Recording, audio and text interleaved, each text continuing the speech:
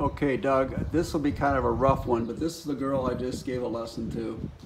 And uh, you can see where she's really throwing it pretty hard right here. Okay, so the one on the right, this is with the weight on for a practice swing. Totally different. And by the end of the lesson, this is her hitting a driver. Oops. And needless to say, she wants one of the devices. But that is within one hour, she went from where she is on the left, where she is just smashing it down with her arms, to the one on the right with a driver. And this is with the ball, and it was killed. That's it.